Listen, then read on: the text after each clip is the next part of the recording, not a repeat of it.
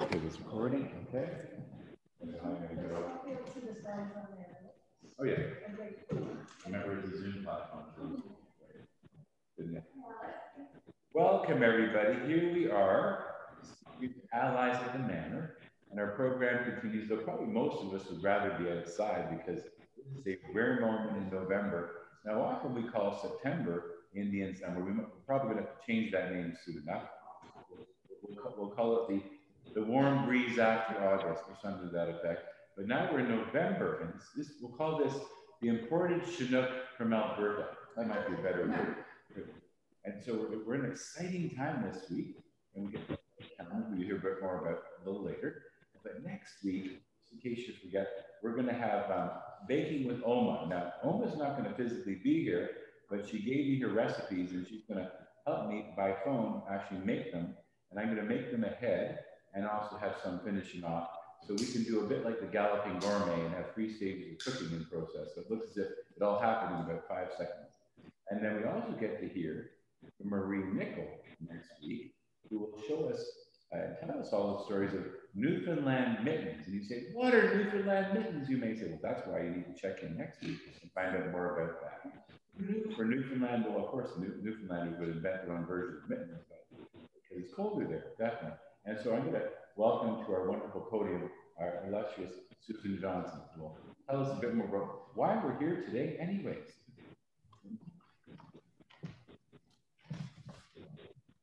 Hi, guys. Our special guest speaker today is uh, Betty Kelman, who has a long, illustrious career in nursing, she tried to retire from, but she reclaimed Texas. So she's going to tell us a little bit about nursing because nurses, all healthcare professionals like that have been in the news for the last several months. Just an idea on what, what all is involved that they have to do. So Betty Kelman.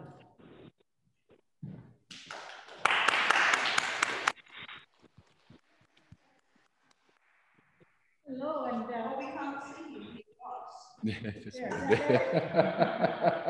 Deborah will appreciate that. Deborah was a colleague who spoke at meetings and she always needed a footstool. You only saw the top of her head. So we're, we can be challenged. So thank you for inviting me here today. Um, and I've been thinking of who I could dedicate this PowerPoint to. Uh, I was asked to speak a little bit about um, my career as a nurse, and then I decided I'd expand it. I wanted to dedicate this to someone, and I wasn't sure who I should dedicate it to. Um, there are a couple of people on the Zoom meeting that maybe represent people you should dedicate it to. Angela, Angela, I met first when I cared for her daughter. Oh, oh sorry. Yes. How's that? Better? Is that better? Can you hear me now, Pat? Yeah. One, one second.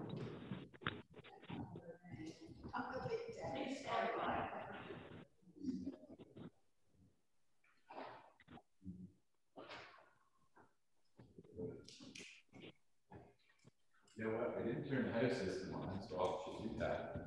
And, uh,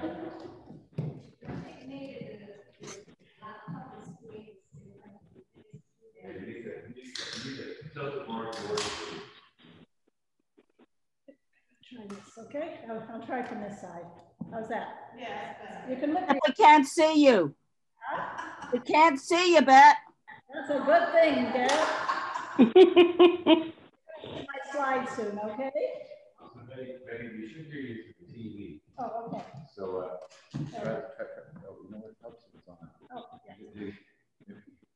Try again. Okay, is he seen and heard? Yes. Hello, Zoom people. Hi. Hi, Angela, can you see me? Yes, I can, Lynn. Okay.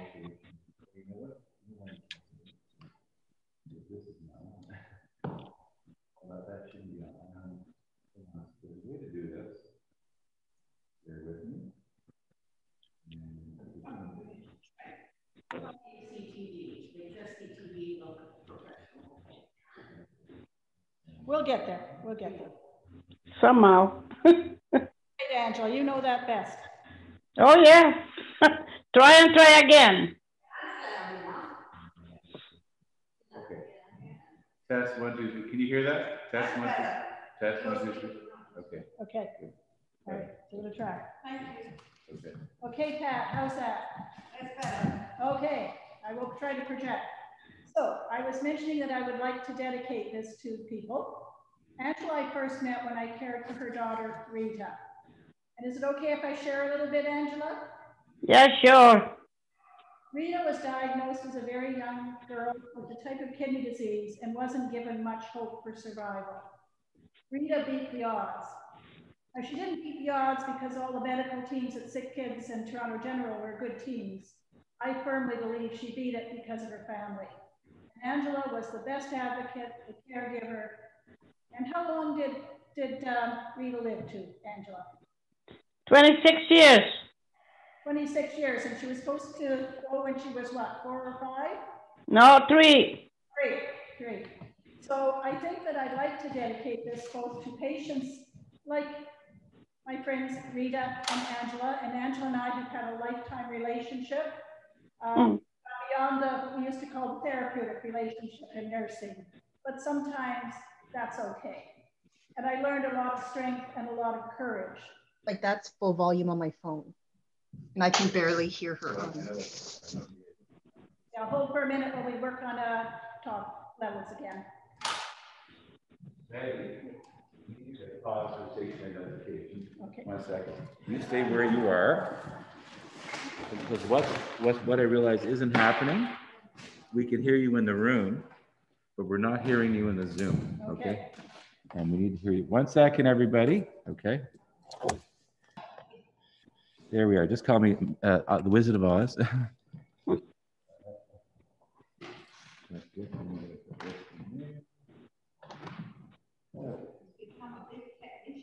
Something like that. If you- asked me a year ago how to do this, I would have said, you're mad.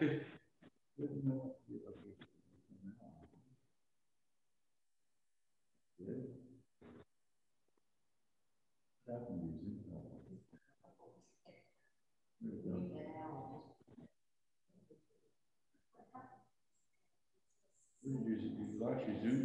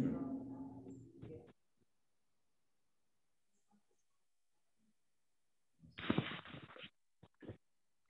You hear people. Okay. So, what I gotta do here, I gotta turn this off. That's good. And then mute me. Now.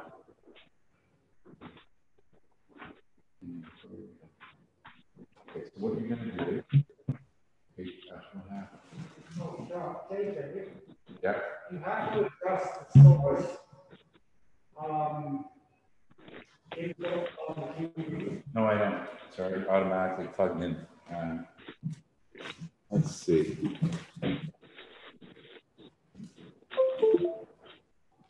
There. Okay. And can you talk now? I'm gonna go see a variant here. Okay, can, uh, can, uh, we're going to just check with our, um, with Mary Ann in the office to see if the sound is reaching Zoom. Angela, can you hear me? It's reaching me. It's reaching me. Yes, I can see you. I can hear you. Okay, I think we're, we're getting there. You are. Yeah, somehow. Eddie, your mic was muted. It's not muted anymore. That's a good thing. Good thing. I'm muting mine again, though. Yeah, you used to try to keep me quiet at work, so it's working now. Okay, are we ready to roll? Okay, so I'll get back to my dedication, which is really to the patients and the families that I worked with. In Montreal some years ago, a book was published about heroes. And these heroes were the people who lived with kidney failure and dialysis. And the hospital at that point said, you know what? These are the people, these are the ones who lead the way, and these are our heroes. And so my work was with heroes. Now, my other special guest on board is Deborah Appleton, who's a longtime colleague of me.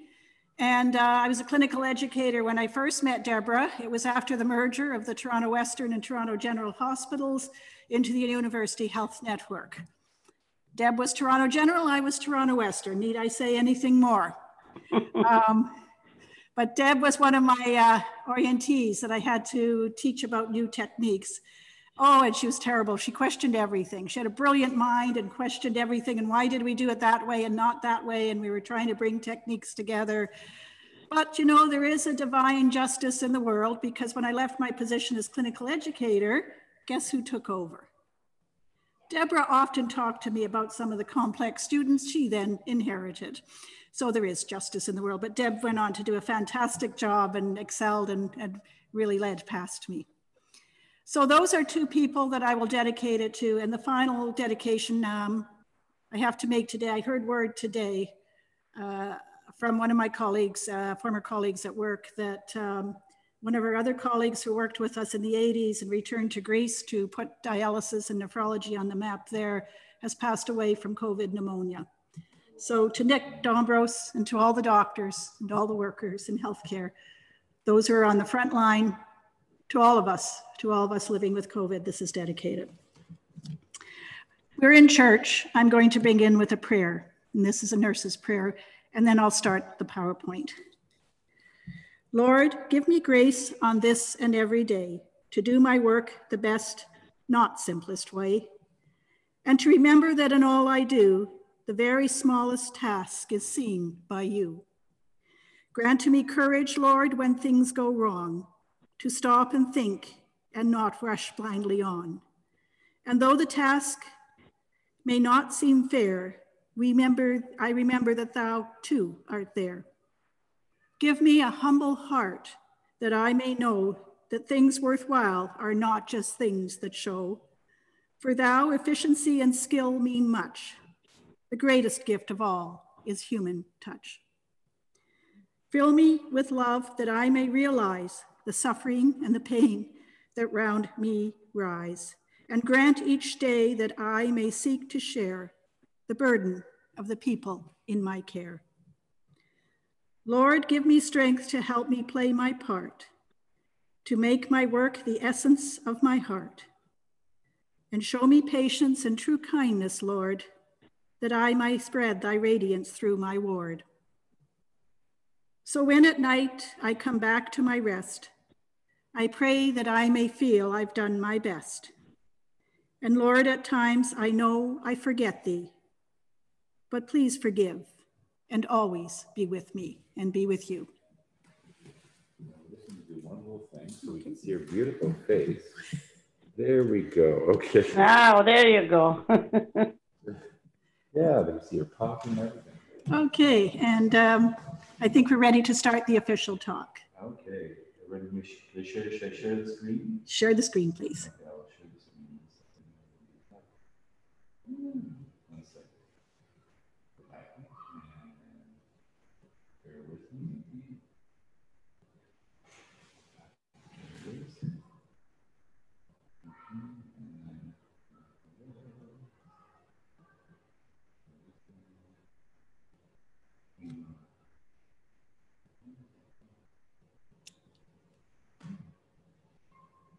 What is this? Bear with me. It was right there. One second. Share. It's, it's coming. I, I did tap dancing at the age of five. Perhaps I should try to do some tap dancing while I'm up here. I don't, I don't know if I can still do that though.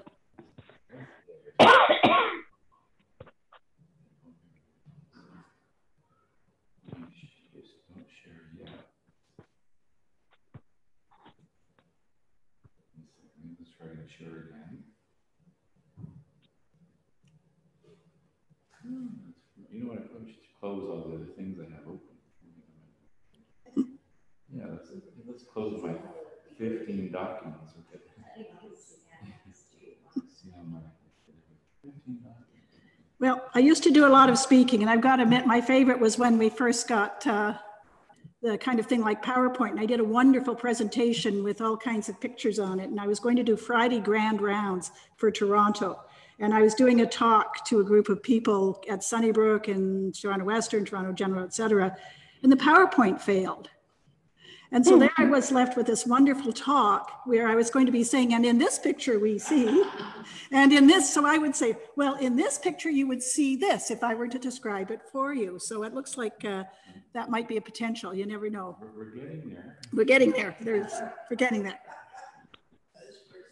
I, I think the first talk I ever gave, I thought I'd be very brave, and I was at a podium in St. Joseph's, and I had a presentation ready, and voila, they turned the lights out and there was no light. But I thought, okay, well, I'll turn the light on the podium, but there was no light, and I was going to read my notes, so that was another corker. That that was a fun one too. So we're just going to put this onto slideshow, and uh. Yay, we got it. Hooray. Well done, John Joseph. Thank you. So this is Adventures in Nursing. And what I decided to do, because I'm also very fond of history, is I thought I'll write a little bit about the history of nursing. It's uh, very close to me, as you'll see. And um, I also put another couple of my heroes on this slide. You'll see Florence Nightingale. Anybody hear of Florence Nightingale? What was she famous for? Yeah, and where did she get her start? Finally. Crimea War, yeah, which is around 1853, 1854, The other woman I'm going to talk to you about is not as well known. Her name is Mary Seacole, and she is also a nurse from the Crimean War. She originally came from Jamaica. So I want to talk about these two people as heroes that I learned about. Now I'm going to make an admission here. When I was speaking one day, uh, Deb knows this, I often would include Florence Nightingale quotes in my talks because I really like Florence Nightingale. And at the end of one talk, one of the younger people in the audience put her hand up and said, Betty, you always talk about Florence Nightingale. May I ask, were you a classmate of hers? sure. So that's when I decided nursing history needs to be taught. There's a, there's a big gap out there for young nurses, so we need to make sure they know it. And I'll go on to the next slide, please. So we can do the official definition of nursing. This is from the International Council of Nurses. It's a more recent one. And it's very wordy, but it encompasses a lot of what nurses do, which is the care of families, groups, communities, sick or well, looking after the ill and the dying, advocating for safe environments, helping educate, helping teach. And these are some of the roles of nurses, as we'll see. And I'll go on to the next slide, which of course is a quote by Florence Nightingale.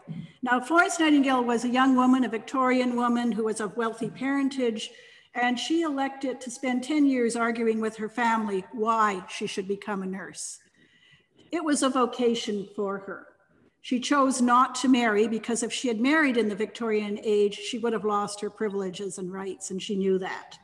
For her, nursing was an art.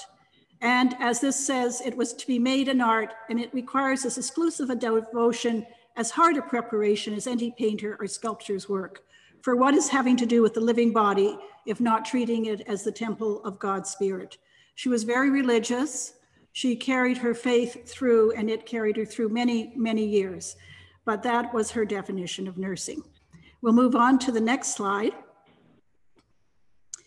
And here's the young Betty Kelman on graduation day. Uh, yeah, traditional nurse, got the cap on. First time I got to wear the black band on my, my cap. Um, I have a personal interest in nursing that I'll discuss, and that's my objective today, as well as discussing the history of nursing, and I may share some stories from my personal paths along the way. Along the next note, we carry on to the next slide.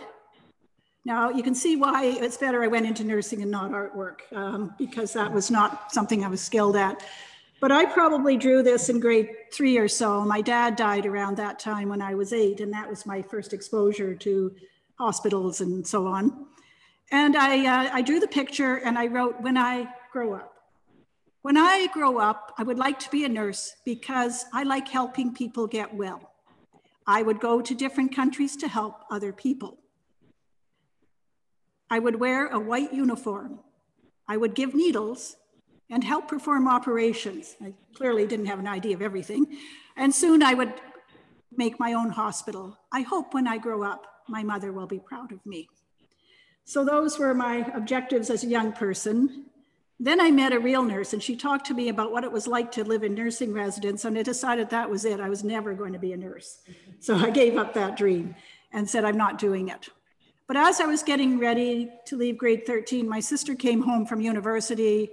She'd completed everything and couldn't find a job. It was a time when job markets were hard.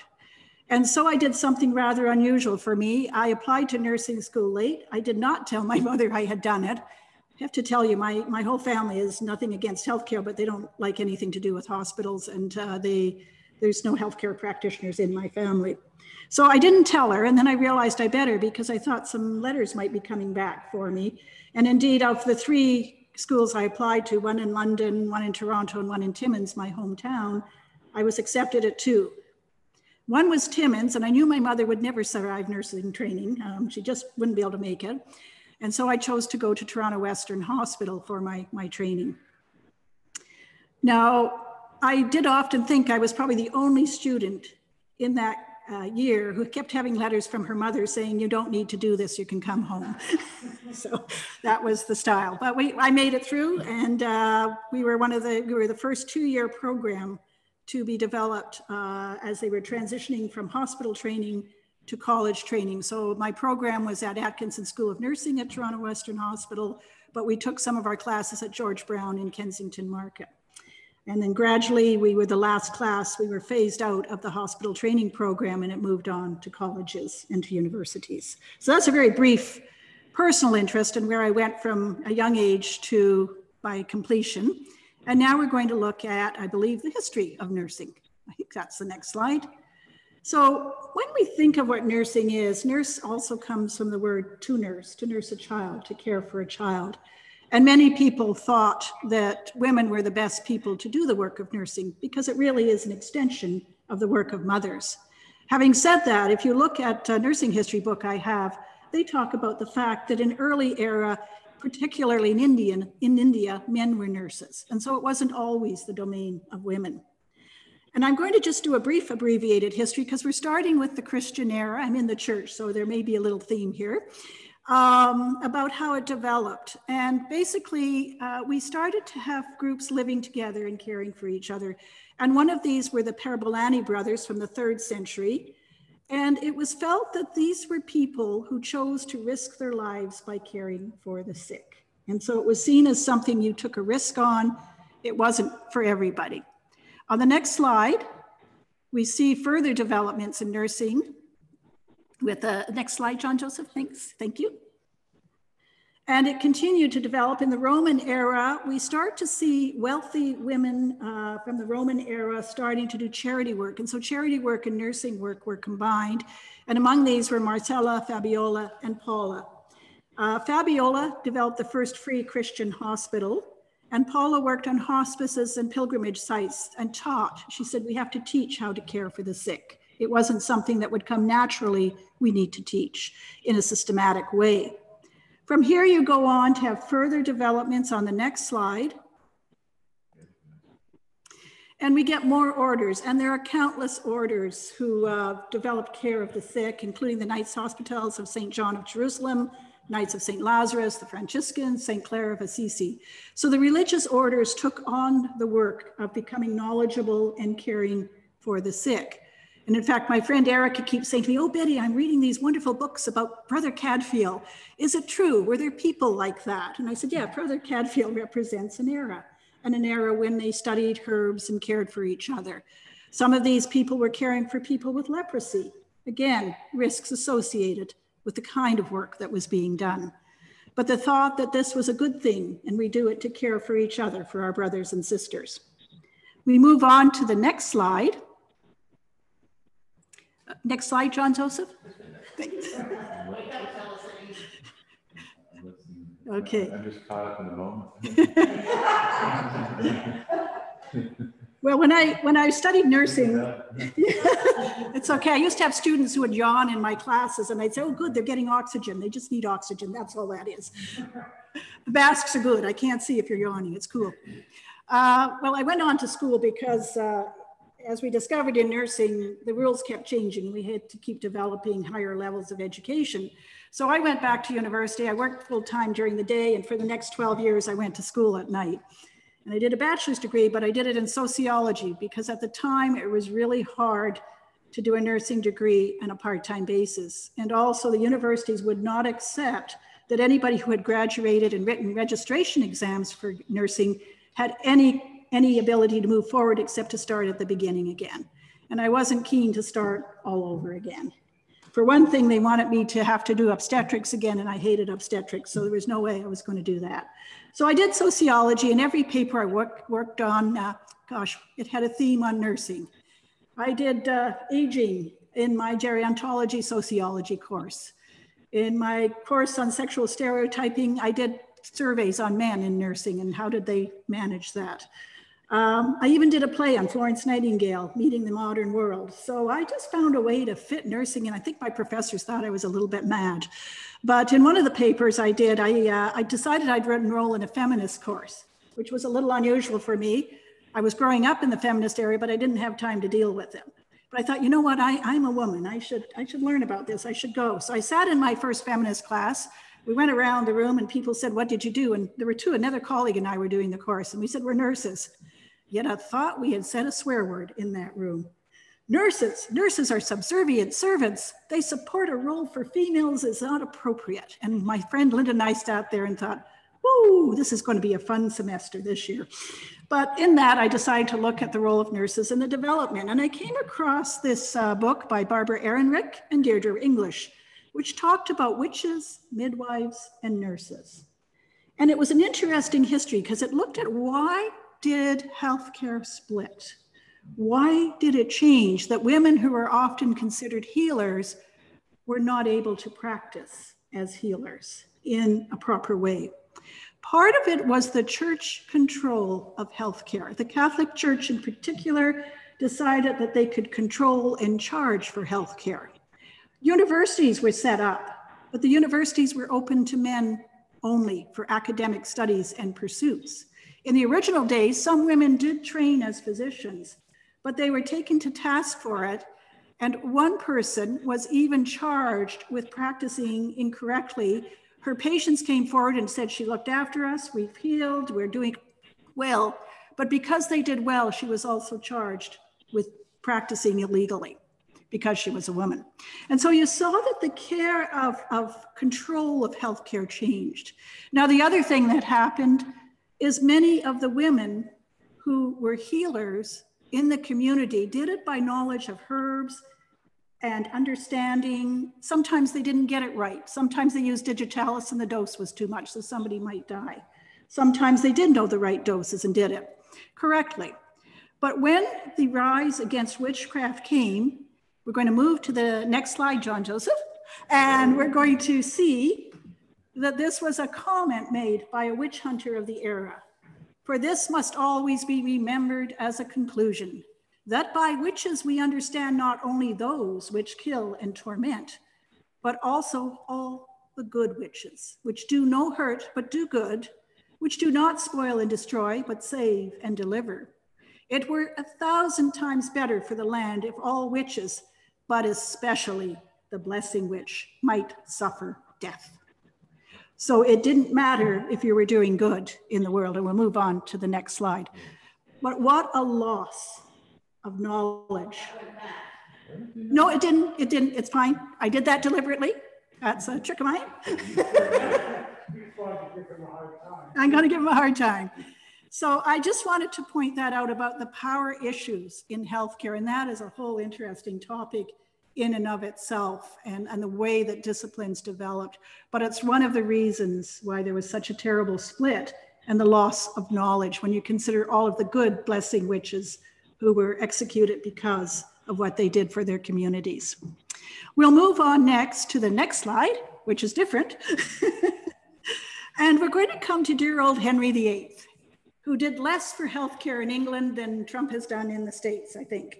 But we can argue that one. But as you know, Henry VIII decided to get divorced and he decided to separate from the Catholic Church and he dissolved the monasteries. Now, who provided healthcare in that era? The monastic brothers, the lay sisters. So they made some endowments for hospitals, but not a lot. But the land, the land of the monasteries was taken and given to nobles the, lay, the, the nurses and the lay sisters and the brothers that did the care were turned out of the monasteries. Healthcare was gone. So we move on to the next era. And we'll move on to the next slide with that as well. Magic words, next slide. We then enter what's called the dark ages of nursing, especially in England. Because how did you fill the roles? Well, they recruited people from all over the place. And guess what? If you were a prostitute or a thief and you were faced with a jail sentence, there was an option. You could become a nurse. You wonder why nurses got a bad reputation? It started in the dark ages of nursing. This was a time when hospitals became places of horror. And unfortunately, I couldn't find all the sources I used for, for talks in the past, but in my head, I carry some images. And one of them is a hospital where the patients were four to six in a bed. This would be a straw pallet, fleas, rats, disease. These were not good hospitals. The nurses, the people fulfilling their sentences instead of going to jail, didn't have anywhere to sleep. Guess where they lay their heads down to rest? He lay down with the patients and slept with the patients. So, you guys are learning about how to protect yourself from germs this era. Can you imagine Hmm. how good were those hospitals in those days? Well, let's move on. The area is ripe for the next slide. And uh, oh, we're not moving on quite. This is from my memory, but Napoleon also did an experiment in France. He decided to get rid of the lay, uh, sorry, the, the nursing sisters and the places where the sick were cared for. If anybody has ever seen the opera dialogue of the Carmelites, it's a nice example of how the convents were taken care of and the nun, nuns were guillotined for their efforts. Um, so Napoleon's idea was let's replace these with lay people. And again, this is just a quote that stayed in my head from something I read off for one of those school papers. The lay people did it, but they soon said, you know what, this is dirty, dangerous, and poorly paid, and we don't want to do it. It reverted back to nursing sisters and nursing brothers because there's something about this being a vocation of work that can be considered dangerous. And why would you do it unless you were doing it with your heart and with your faith? And so you see again a division of labor, particularly in the Catholic countries where care often remained under the Catholic institutes. Now we move on to the next slide. And these are the developments post. I just put a list of these hospitals up because it gives you a sense of who they were caring for and how they tried to replace the care. So the Westminster for the sick and needy and other distressed person. Guy's Hospital for the incurables, including the lunatics, because you got to get those people put somewhere. St. George's Hospital, here we get an inkling that maybe air is good in hospitals, country air, fresh air. And so they created a hospital for poor, sick, and disabled in the country. Foundling hospitals, because of the number of infants abandoned by children, and they had to go somewhere. The London Hospital for the sick and injured poor of the East End. And Pat, probably you've heard of the London Hospital. Guys in St. Thomas. Yeah. And another scourge of the. No, they were in other countries too. But I think in England, particularly because they lost their, their care sources and they had to create something. But there, no, there were hospital, Catholic hospitals in other areas as well. Um, the Lock Hospital, this was the big scourge and uh, pandemic epidemic of that era, and that was venereal disease and syphilis and no treatments. And so people would have to be hospitalized for that as they went into terminal stages. And my last one's favorite, the Magdalen Hospital for Penitent Prostitutes. So there we are. They have brilliant and wondrous names, but they tell you a little bit about some of the social needs and healthcare needs of that era. The next slide. Yes, yes, especially at this time. Yeah. Now, now it comes along the parish nurse. Does that sound good? That sounds really good. Let's get parish nurses. And uh, this was a role that was created for wet nurses for infants, uh, for caring for the sick. And it represented one of the most fee common female occupations in London. 12% of the London women were employed in nursing.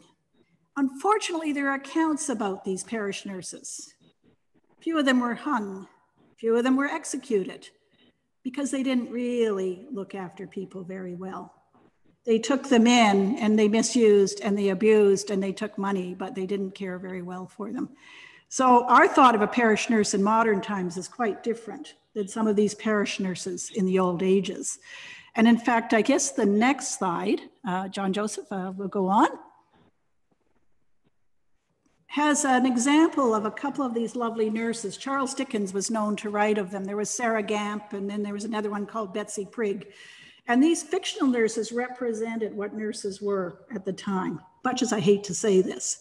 Nice, dissolute, sloppy, and generally drunk. The demon gin was on the streets, and along with venereal disease, gin and toxicity from gin drinking was a big, big problem in those days. They were untrained, they were incompetent, and they didn't really provide care that we think of as nursing care. They were considered brutal, they exploited their patients, and they had a total ignorance of what care was needed. Now, I'm not saying this is all your parish nurses, but certainly many of them had a bad reputation. And as I said, some were, were brought to trial for the atrocities that they uh, did do. Well, this leaves us a really open field. Do you think we need to improve something here, especially in England? So let's move to the next slide. Ah, my heroine, Florence Nightingale, is on the scene. Born in 1820, she lived till 1910, 90 years. She lived a good life and a long life.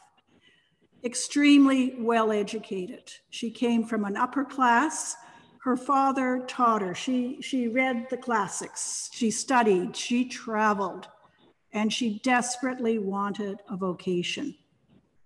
When she traveled, she used to go and look at places where, where nursing care was provided, where health care was given, and she dreamed of being a nurse.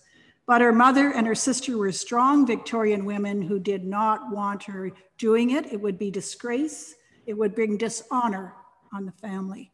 So why would they want Florence to do that?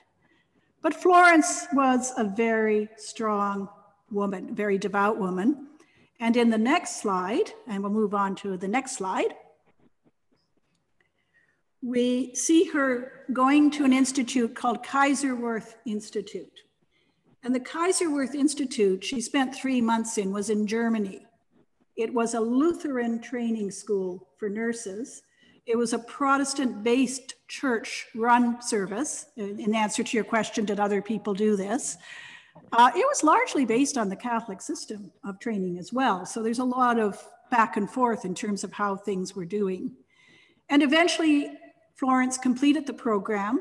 She did the practical work, she did the dirty work, and I'm going to call it dirty work because there was a lot of dirty work associated with nursing. She did it all. She learned what was necessary, and she had her own ideas from her large and diverse education. She went back to England and began to develop nursing in England, but the Crimea War had broken out. And it was a mess in terms of how the young men were being cared for from the battlefield. So the War Office invited Florence to go to the Crimea. And she did. And here's one of her quotes, and it was fundamental to how she cared for people. For the sick, it is important to have the best. So we'll move on to the next slide. So here she is. She comes into the Crimea, and her description was it looked like four miles of mattresses on the floor with sick and wounded men. Liquid filth from clogged sewers was flowing over the floors. Cholera and typhus were among the other issues to fight with, not just battle wounds, not just battle scars, but disease and rampant disease. She met with hostility from the British Army, the doctors, and the administrators. She had come, I believe, with about 30 nurses that she had brought with her to try to work in this environment. She made an interesting quote later in life. There is no part of my life upon which I can look back without pain. Healthcare affects people who work in healthcare. It can scar them. We move on to the next slide. This is her description of war, and we are coming up to the Remembrance Day services when we honor. But remember, Florence had to fight the British military. What the horrors of war are, no one can imagine. They are not wounds and blood and fever, spotted and low, or dysentery, chronic and acute, cold and heat and famine. They are intoxication, drunken brutality, demoralization and disorder on the part of the inferior, jealousies, meanness, indifference, selfish brutality on the part of the superior. So we see that she became known as a lady with a lamp. Now, has anybody ever heard of the lady with the axe? We think of her as the lady with the lamp. What a glorious romantic image of Florence going through the wards. Remember, covered with filth from sewers, people screaming, people dying, people wounded. But Florence began to tidy things up. She did not meet with help. In fact, some of the British military refused to let her have supplies. Now, it's hard to find the comment, lady with an axe, but I went to a woman, one woman play by a woman who studied Florence Nightingale, and she entitled it The Lady with the Axe. Because Florence got so fed up one day, she got a sergeant from the military, she brought him with an axe to the storeroom, and she chopped the door down. She got her supplies. She did what she needed to do to change the conditions under which she was working, and she did. With her, she brought her concepts of what good nursing care is, and she had based those on all her studies. What a novel concept fresh air, good food, cleanliness, hygienic practices. This is what she brought. It is the unqualified result of all my experience with the sick that second only to their need of fresh air is their need of light. That after a closed room, what hurts them most is a dark room. And that is not only light, but direct sunlight that they want. This is a time when they used to believe you had to keep all the windows closed and keep the stagnant air in there. Her thing was open the window and everybody was aghast. Oh my goodness, you're going to kill people letting fresh air in. And when I read that, I, I was reminded, um, I got to work on our nursing archives at the Toronto Western Hospital, and I saw the book of nurses registered in the first class of nursing at Toronto Western. And there were little misdemeanors that they had done that they were let go for. And one of them was let go because heaven forbid she left a window open an inch on a patient. Fresh air wasn't always felt to be good for people, but Florence felt it was. And we see her with the lamp, and we also see a more modern day nurse carrying the lamp because that lamp became part of the traditional school of nursing. We had many traditions. When I went into training, we started out with a white uniform and a white cap and blue collar cuffs. That said, I was first year. In second year, we took the blue cuffs out and the blue buttons, and we were second year because we had a white uniform. We had a ceremony to pass the lamp on passing the lamp from one generation to the next generation of nursing.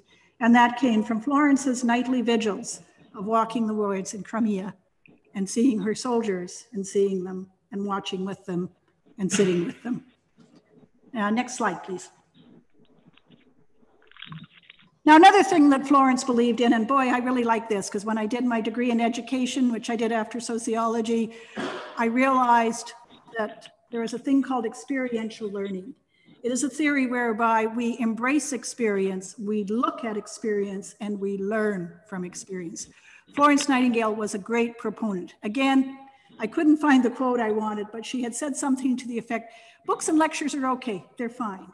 But above all, we need the experience. We need to learn from what we call in nursing and in medicine clinical experience on the floor, getting to know things, getting to recognize, taking what we learn from books and turning it into living experience to know what to do.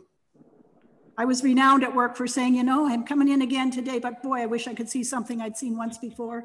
Why does it always have to be something new or a different curve? Because in nursing, it always felt like there was always something new you had to learn, never a time. So for Florence, she felt the most important practical lesson that can be given to nurses is to teach them what to observe, how to observe, what indicates improvement, what indicates the reverse. What's more important? What are the areas of evidence of neglect and what kind of neglect? And how do we fix what we're seeing through observation, understanding, reflection, and experience? We'll go on to the next slide. Well, I thought I better put a human in. This is getting pretty heavy. So Nightingale had some frustrations. She dealt with the army. She dealt with the sick. There was a war going on. But this was a comment recorded by somebody from the nurses she came out with. I came out, ma'am, prepared to submit to everything, to be put on in every way. But there are some things, ma'am, there are some things one cannot tolerate to submit to. And what were those things? We'll go on to the next slide and find out. It's the cats, ma'am. They suit one face and some suits another. And if I'd known, ma'am, about the caps, great as my desire was to come out to nurse at Scutari, I would not have come, ma'am. And I just picture Florence in the midst of all this and her nurses complaining that their caps weren't very flattering to them. And I thought, wow, talk about frustration on frustration. Florence doesn't stop there though, as our next slide will show. And we'll just move on to the next slide. Now, what on earth does a crinoline have to do with nursing? Well, I have here a copy of Notes on Nursing, one of the textbooks written by Florence Nightingale. And in it, she comments, among things, about fresh food, nutrition, you know, good uh, environments for people. But if I can find it, here we are. Some of her comments, because they would get people called lady probationers coming in to help at the hospital, and the ladies would come. The fidget of silk and of crinoline, the rattling of keys, the creaking of stays and of shoes will do a patient more harm than all the medicines in the world will do him good. She goes on to also state in her comments, fortunate it is if her skirts do not catch fire, and if the nurse not does give herself up as a sacrifice together with her patient, to be burnt in her own petticoats I wish the Registrar General would tell us the exact number of deaths by burning occasioned by this absurd and hideous caution. And here's a final clinker. I wish too that people who wear crinoline could see the indecency of their own dress as other people do. A respectable elderly woman stooping forward, invested in crinoline, exposes quite as much of her own person to the patient lying in the room as any opera dancer does on the stage. But no one will ever tell her this unpleasant truth. So I think Florence had some comments on what a good uniform would be as well. what, what's that? She did wear a dress and a veil, but not a massive crinoline. Um, and in fact, in a later slide, I think I have a picture of her with some of her nurses but it was a, it was a typical Victorian dress, but not as flouncy and so on. So I, that, I hope that was a little bit of humor for you, although I don't know if the effigy of burning nurses is something you want to think about. But anyway, dangerous, it was a risky business. What can we say? We'll move on to the next uh, slide. So basically, Florence was a woman of action. And she went on to work with the War Office in Britain to change the military to set up training schools for medical doctors in the Army. She also was a great statistician. She collected statistics on public health and wrote recommendations.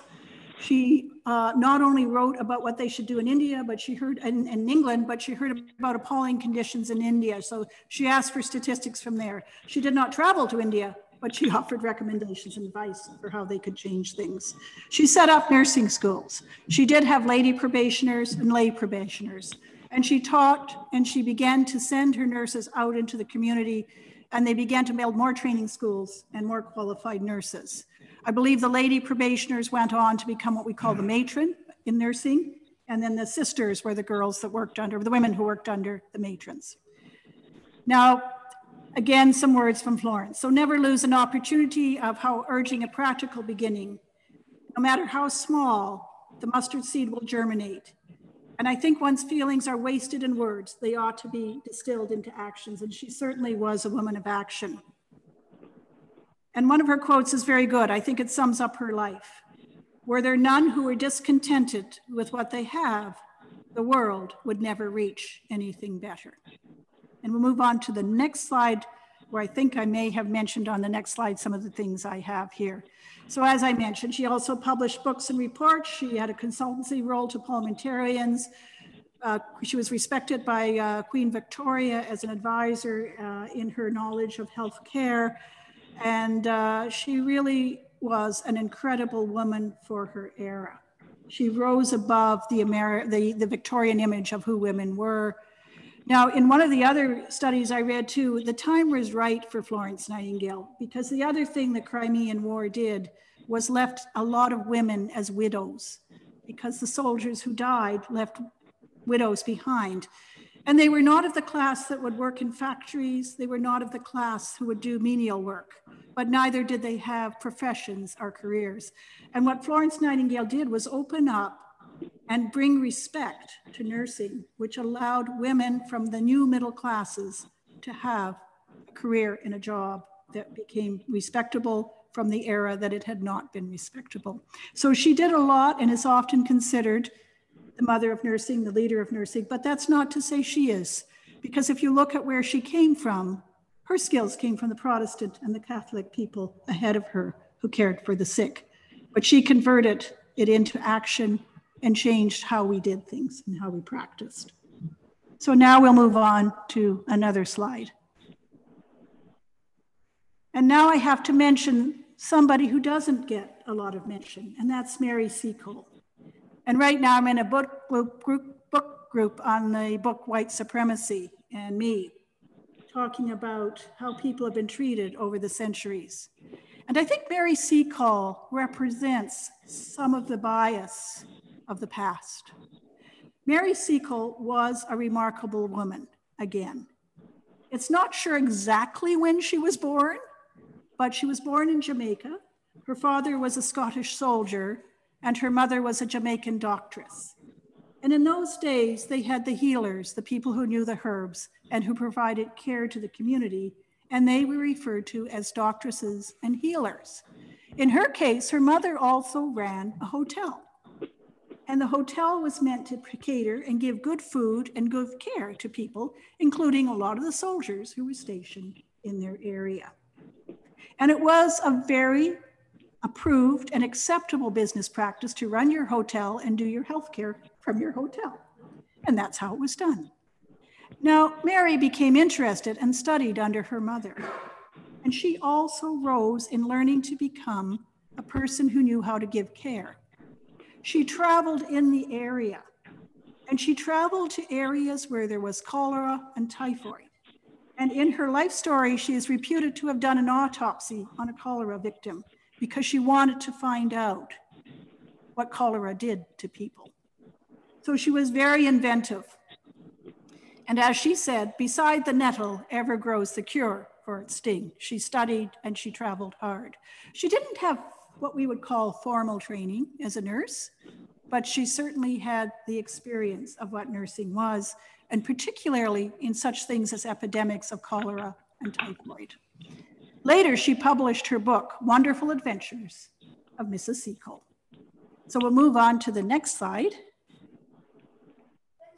Yeah. Mary Seacole was born about 1805. Um, so she's a little bit, born a little earlier than Florence Nightingale. She's a little older than Florence Nightingale. Uh, I was looking at it and trying to calculate it because she did end up in the Crimea. She went when she was in her 50s. Florence was there in her 30s, so a bit of an age division. There is question that they met. Mary Seacole refers to meeting her. Florence Nightingale is thought to have comments on her, but as with something I, I didn't point out, as with women's history, sometimes the history is lost. It's not been recorded. Um, and I'm going to come to a little bit of controversy over the thoughts of Seacole and Nightingale in the Crimea, because you would have thought they would have met. So she uh, also decided she needed to go to the Crimea. She was in Jamaica. She'd been in England on a couple of visits before, but she thought she was well fitted for the work and described herself as the right person for the right place. So she applied to the War Office for the post of hospital nurse. She felt she could look after the soldiers. She knew she had knowledge of cholera and diarrhea and a host of lesser ills, and she wanted to be there and she wanted to help. So she financed herself she got there. She did meet some of the soldiers she had cared for in the past in the West Indies, and they also helped with some financial support at that, that time and after the war as well. If we move into the next slide, her comment, and you see in here that idea of vocation. There are her years for you, Jen, 1805 to 1881. I am not ashamed to confess that I love to be of service to those who need a woman's help. And wherever the need arises, on whatever distant shore, I ask no greater or higher privilege than to minister it. So she made it to the Crimea and she built the British Hotel. She provided food and nourishment and rest. But beyond that, she used to go out into the battlefield with her bags of bandages and tea and whatever was needed and would bring it to the soldiers. Now, there was some question she might have shown, uh, uh, had alcohol at the hotel, um, but that was the business. She had supplies and, and provisions as well that she would sell. But she did do great work in the Crimea, and it's attested to by the soldiers when she came back to England and she was in, she didn't ask money to help her, she raised it herself. They, they did fundraising for her, and she became very well known. And when I was doing a talk, because I'd never heard of Mary Seacole, she's not your traditional nurse. I hadn't heard of her, but I talked to my friends who were workers who had trained in the West Indies. Said, "Oh yeah, Mary Seacole. There's hospitals named after her, nursing schools named after her." In fact, eventually she was put into the curriculum of the uh, nursing system schools in England. But then there was controversy. People, some people wanted that name removed because she wasn't a proper nurse. A statue was put up outside St. Thomas Hospital, and some people argued that because they said, well, she didn't have anything to do with St. Thomas. So, what you have is the difficulty and the dilemma of the social era of the time. Nightingale was seen as the supreme perfect woman, lady with the lamp. And that was who people saw. There is some belief that she wrote to nurses of Nightingale to join Nightingale and they did not accept her. And Mary's thought was it was because I'm not the right color to go with those nurses. So there was a division, I suspect. And again, there's not enough written about it to tell us what that was, but there are researchers and people now trying to understand what role did these two remarkable women play but to me, they represented what nursing is. Remember the witches of the era who knew herbs, who knew care, who had experience, but didn't have school training. And the people who went for the academic training. There's still that divisional spread, sort of contained within the story of Mary and Florence. I'll move on to the next slide. She too saw war, and her comments were the death in the trenches touched me deeply. And when I woke in night and heard the thunder of the guns fiercer than usual, I create dread at the dawn, which might usher in bad news. Others have described the horror of those fatal trenches, but the real history has never been written. So I think she, I agree, a lot of history has never been written. And we'll go into the last slide here on Mary Seacole. And if I have time, I'll talk about me after. Uh, this was from a reporter who was in the Crimea, and he said, I have witnessed her devotion and her courage. I have already borne testimony to her services to all who needed them. And I trust that England will not forget one who nursed her sick, who sought out her wounded to aid and succor them, and who performed the last offices for some of her illustrious dead. Indeed, I think a very noble woman who rose to an occasion and brought her experiences and tried to alleviate a situation that was not a good situation. So, well, a little bit of levity. This is me at my best. I had many uniforms in nursing.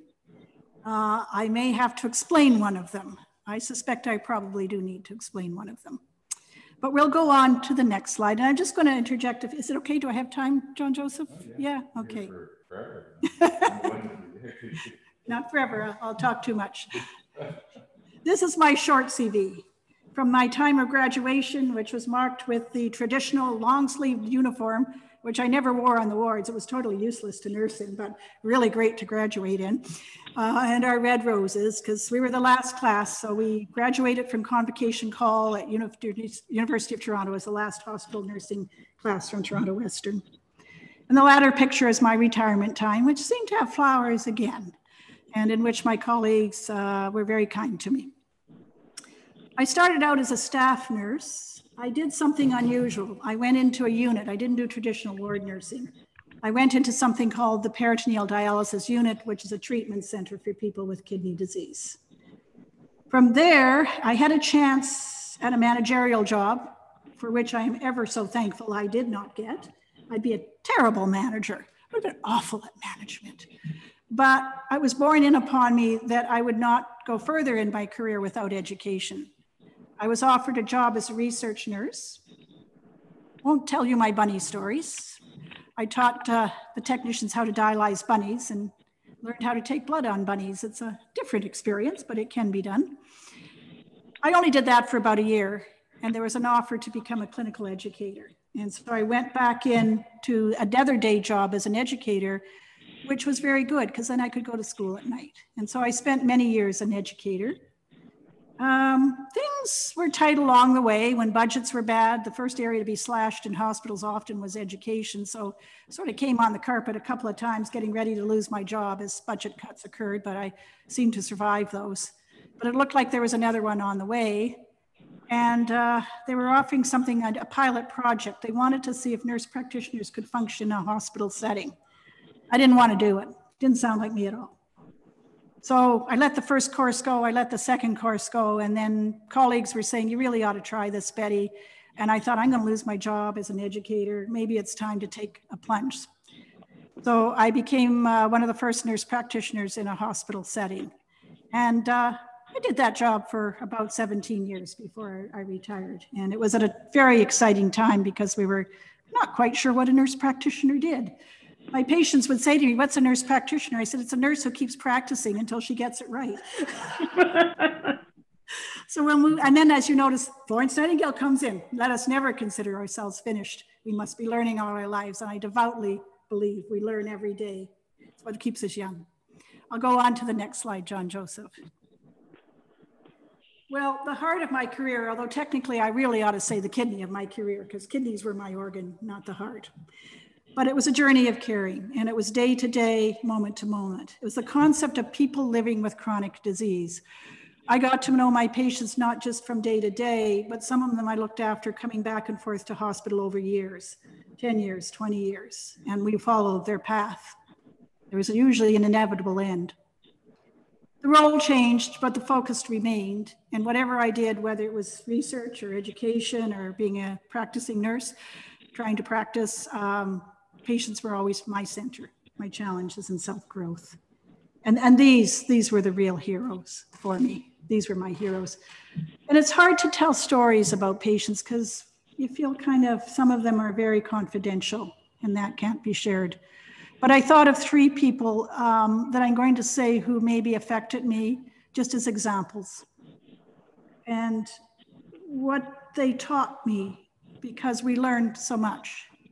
Bill was the first patient I saw die in my dialysis unit. I was working night shift. We knew he had a bad heart.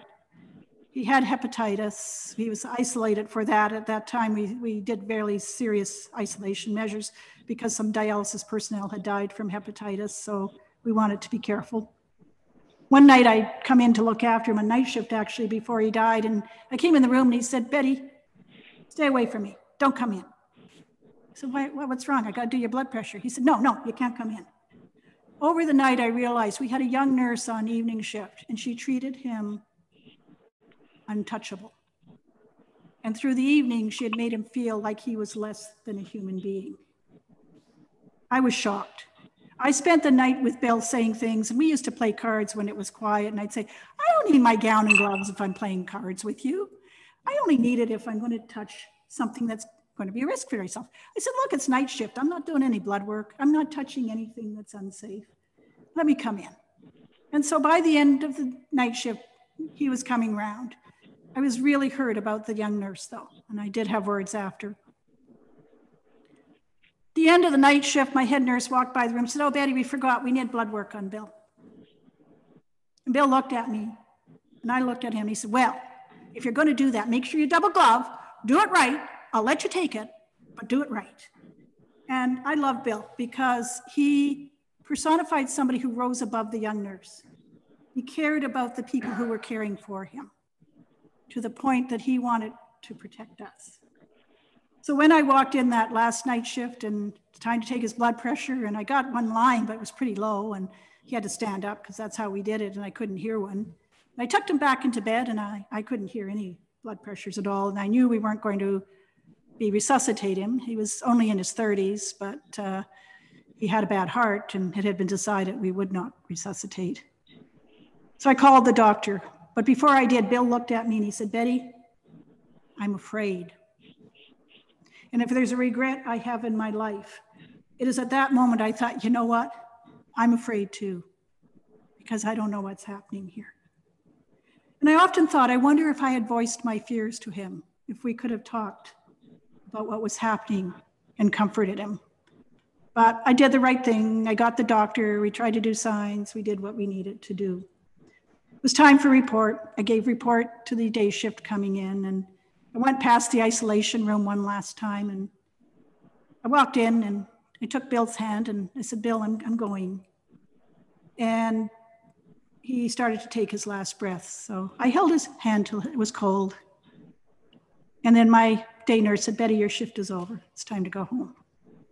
I don't think I'll ever forget Bill because of the kindness he had for the people who cared for him and what a special person he was. Another person um, who also touched me was Elaine. And Elaine had a very serious complication. It was one that uh, we knew mortality rate was 95%. There wasn't any hope we were going to get her through it. It involved a type of skin injury, which I won't describe it, it was just bad. And I did a lot of dressings for her and spent a lot of time with her. We talked about things. And she decided that if she needed an intensive care unit, she would go, even though the chance of survival was very poor. And she did go to the ICU at one point. It was a Friday. It was my mother's birthday, turning 93. My sister was here from England. We were going to have a nice family dinner. And four o'clock before I was getting ready to go, I got a call from the ICU. Elaine had decided to come off the ventilator. Could I come and see her? So I went up and I knew she didn't have much family. She was from out of town, but her mom, brother were there. So I decided to sit with them. You never know how long someone has when they come off a ventilator. And I sat for a couple of hours and I kept sitting and I kept thinking of my mother at home. And that's when you have serious problems. Where does your heart lie? Where should you be? But after about three hours, I went to the family and said, you know, I'd love to stay with you till the end, but I'm afraid my mother's at home and it's her birthday. And they understood. So I went home.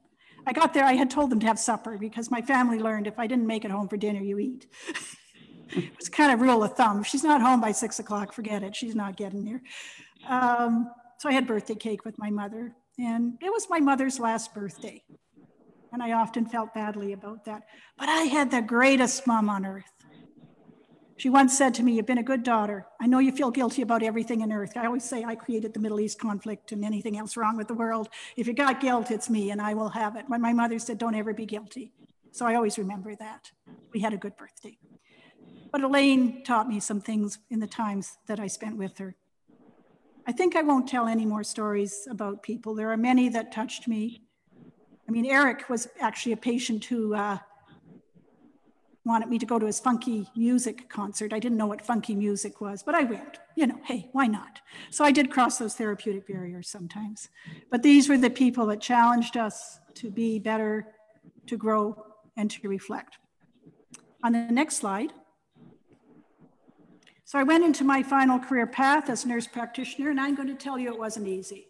It was tough. We had no rules, we had no regulations. I was doing stuff that I used to think I was going to be arrested for because I think it was illegal. We had to create something called medical directives, which took us about three or four years to say what we could do under the auspices of physicians. And so eventually, after a year and a half, I did what I called the famous crash and burn. I found I couldn't do it. I was feeling too guilty about anything that went wrong. I didn't know if I was the best person for the job. So I went to my boss and said, I'm resigning and I'm leaving nursing. And she said, No, you're going on sick leave.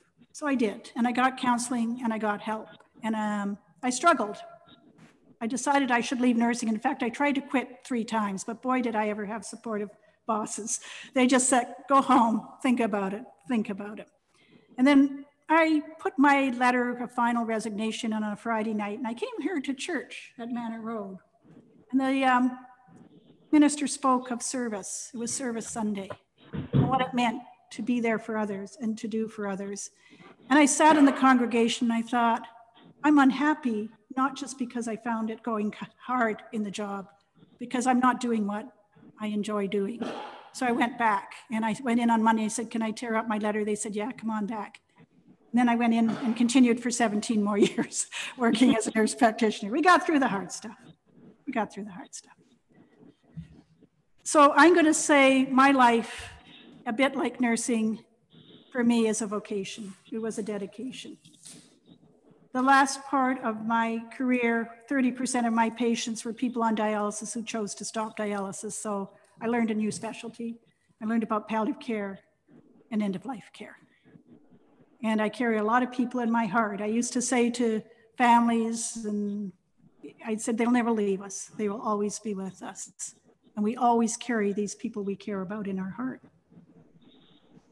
And they taught me so much about living, about dignity, about suffering, about living with suffering, about caring.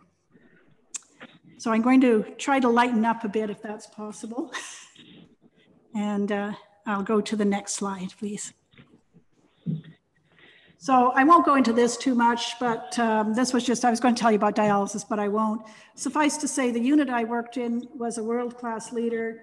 We developed a new technique in dialysis, which dropped mortality rates from 80% in the first, uh, sorry, 60% in the first year to 80% in the second year to 12%. Was massive. And we spent a lot of time teaching others about the technique that was discovered. And I was proud to be a very small element of the team that taught nurses and doctors from around the world. This picture of the group is our first worldwide uh, nursing session on the new concept of continuous ambulatory peritoneal dialysis. We had nurses from the States, from Switzerland, from England attend. And it was an honor to, to teach them about the things that we shared. Okay, dear John Joseph? Very good. Okay, I'll get the next slide then, please. Okay. So why did I get to be a clown? Well, when you go through any program, you have mentors, or as we sometimes call them in, in nursing, we used to say mentors, just depending on how the day was going. Um, but Sharon, beside me when I graduated the first time from uh, U of T, uh, helped me forge my, my goals and what I was doing. But I always teach Sharon because uh, before Wheel-Trans came out, we came up with a concept in the unit, or she did, that we would raise money for a van. And one of our nurses' husbands had agreed to drive around the city at five in the morning and pick up our patients for dialysis and drive the ones that were coming off their treatment home because our treatment was a 20 hour treatment. And there's a picture of Dr. Oreopoulos there with myself and one of our other nurses and his two sons. Uh, Dr. Oreopoulos was the discoverer, and well, I, he, he didn't really discover the technique. It was a technique developed in the States but brought to Canada, and, and we really worked on it here. We had different equipment that we could do.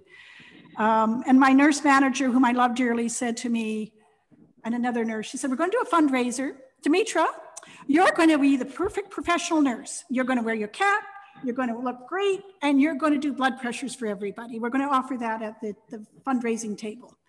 So then she turned to me and she said, Betty, I got a job for you. And I was all preened up, ready, dignified, professional. And she said, Betty, you're going to be the clown. Mm-hmm. So I mm-hmm. decided that nobody was ever going to recognize me as a clown. And I made up a costume.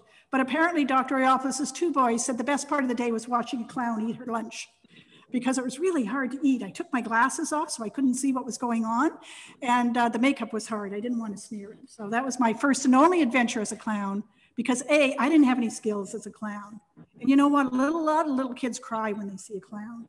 It wasn't for me, but there are clown nurses now. I've met a few along the way who work in hospitals. I'll go on to the next uh, slide. Well, as a teacher, I became a mentor. And I always, even though I know George Brown, Bernard Shaw is supposed to be misogynist, I still like his quotes and his writings. And he said, I am not a teacher, only a travel, traveler of whom he asked the way. So I was privileged to do a lot of teaching and education as a clinical educator. Uh, as everybody says, and Deborah will attest to, Betty never learned to say no. So when people used to talk to me about my career path and what I did, they'd say to me, What did you do, Betty? How did you plan your career? I said, I didn't. I just never learned how to say no. So I went to a session one day. Um, Humber College was going to create a nephrology nursing program. They wanted some staff nurses, of which I was one, to come along, and managers and educators. We all sat and talked about wouldn't it be great to have a program? And at the end of the day, they said, write your name on a piece of paper if you're interested. So I did. They came back to me. I got to write the curriculum for a four level nursing program. I had no idea what I was doing. I wrote it with another person. They gave me the one for neuroscience and we created a four level nephrology nursing program. Money was tight. Ministry of Education didn't approve it. That was okay with me, but you know, we, we waited. Well, two years later, Humber called me and they said, Betty, you'll be so happy. The program's going to start. And I thought, yeah, I'm happy because I wrote into that program everything I didn't know and wanted to know. It was going to be the best thing I could ever take in my life. And they said, We want you to teach it. We've got 25 students registered in two weeks. so, and Deb knows I got her into it too. Um, I didn't know what to do. I didn't have the subject matter. I didn't have all the dreams that I had in there. So I asked the college, could they wait? So they postponed it to the winter semester. I rallied all the educators and all of the hospitals, anywhere where there was a, a, educator in my field. And we all built it and produced it and got it going in January of that year. Another regret, I never got to teach the course, take the course. I taught it for many years, but I, I never got to take the course. Someday, maybe. The other thing I did was I mentored others. Deborah, do you recognize yourself? In Halifax. Unfortunately, yes, yes. Halifax with Joan, and you did your first uh, presentation there, and you went on to give wonderful and amazing presentations in the future. Well, so, thanks my mentor. so it was wonderful to watch people grow and develop. And when I started teaching classroom teaching, I would just, a nurse would put up her hand and say, Betty, you've just explained something I saw in my patient. Can I share my story? And it was like seeing these light bulbs go in because sometimes you experience things, but you don't understand what's going on behind them, and to watch people say, I know. Now, there's a picture of me surrounded by some Japanese nurses, and uh, that was a privilege I had. I, I got to be involved with some committee work, but there's a patient in that picture, and her name is Keiko.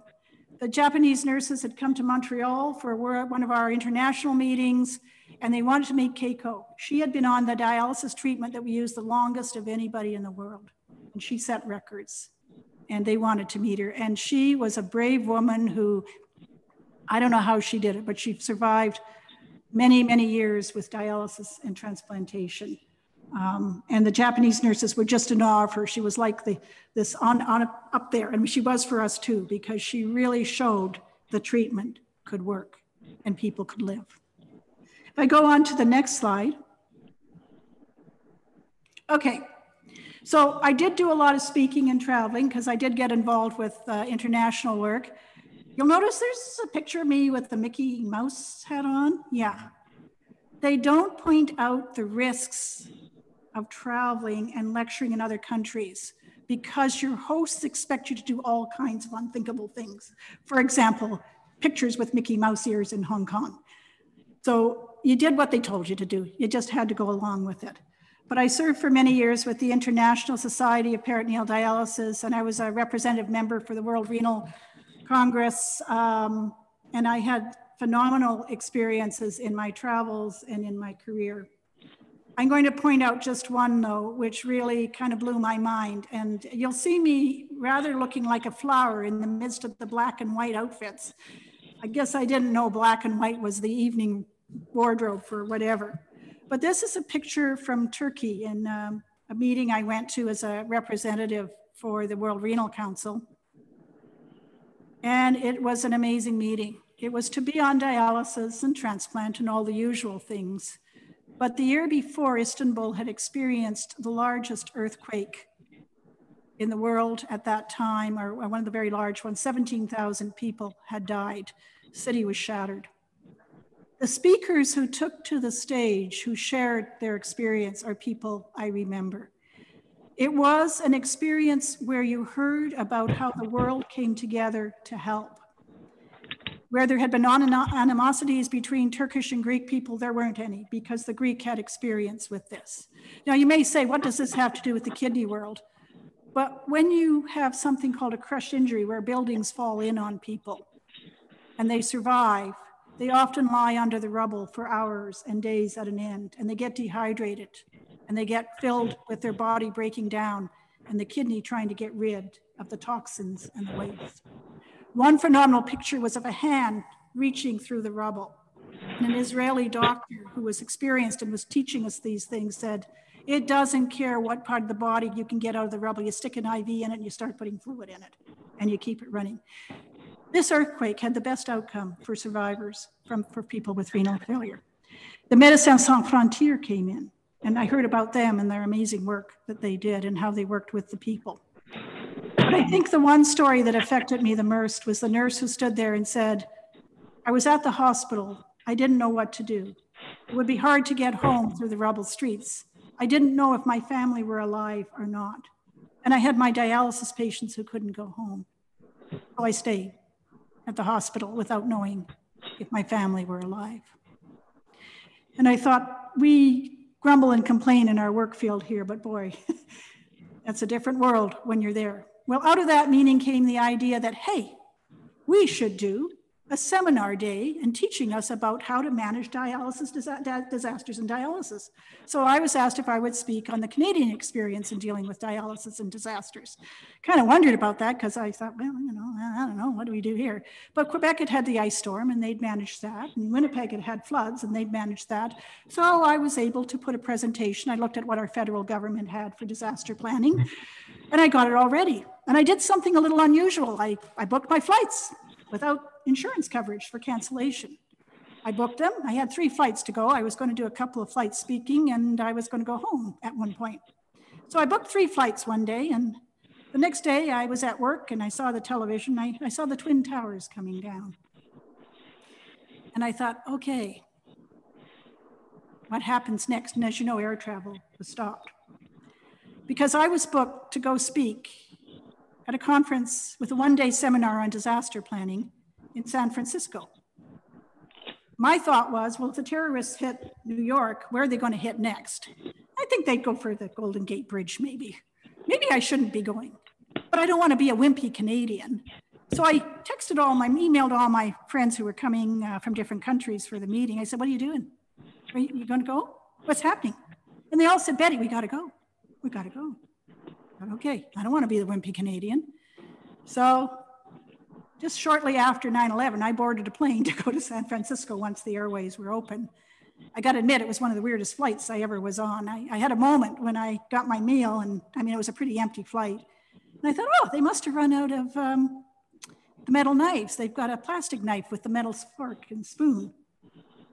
And then I had a thought, and I thought, what did they do with the metal knives on those planes that were caught in 9 11? Gave me kind of a, a sense of awe. I got to the meeting. My colleagues didn't come. They decided maybe it wasn't safe to travel. So not everybody came, a few came, but it was a very interesting day. And we talked about what we would do for disaster planning and how we would manage in our community. We heard the talks that were scheduled to be given, and we had um, impromptu sharing and discussion of other things. And of course, what happened in New York City, because I must admit, in our unit, we were sitting waiting for the call, thinking there'll be crush injuries in New York, they'll need dialysis equipment. But that call never came. The survivors weren't there for those injuries. So I gotta say that the travel gave me experiences that I don't think they're comparable to Florence and Mary. They were pretty brave people in the face of very harsh things. But I've had some amazingly wonderful experiences because I never learned how to say no. So that's why John Joseph, when you said, well, you talk, couldn't say no. and we'll move on to the last slide. Of course, it's Florence Nightingale, my classmate in spirit. I love this quote from her. The first one live life when you have it. Life is a splendid gift. There is nothing small about it. And in these times when we're living alone and we're by ourselves and we're trying to cope and wondering what the right thing to do, how to manage, let's not forget it still is a splendid gift and we can choose how we live our lives. The second quote is one that became more endearing to me as I faced my retirement because I knew I was getting close to retirement. And somebody said to me, Betty, you're still young. You know, why, why are you retiring? And I could have gone on, but I took a little bit of an early retirement. I, I used to blame one of my doctors because we did rounds one day and uh, one of the young fellows said, that, uh, that lady we've just seen, her biopsy's not so good. She's not going to do well. I, is she going to do well? And the doctor said, no, she's not going to do well at all. He said, she's very old very old. With her age, she'll never make it. She's very old. So I stood there and I thought, yeah, well, that lady's a year older than I am. so I said to the doc, I said, you know, she's not that old. said, no, she's really old. so I said, you know, maybe it's time for me to find my way out of my profession. I've done 40 years, maybe it's enough. And one of my colleagues said to me, but Betty, there's still so much you could do. And I said, yeah, but I'm getting cranky inside that I don't want to be one of those cranky old nurses that you say, hey, I want to get rid of her. She's such a pain. So I left while they still liked me. I thought it was a good time to go. But this quote I liked because it said something to all of us as we go through life. To our beginners, good courage. To our dear old workers, peace, fresh courage too. Perseverance. For to persevere at the end is as difficult and yet needs better energy than to begin new, York, new, York, new work. And um, I will leave you with one more quote. It's not Florence Nightingale, but it's one that comes to mind quite often as we face these troubled times. And as I sit alone, and uh, my only family's in England, but I got good friends here, got good Zooms here. And I always think of the phrase from the United Church Creed We are not alone. In life, in death, beyond death, we are not alone. Thank you for sharing with me today and letting me share.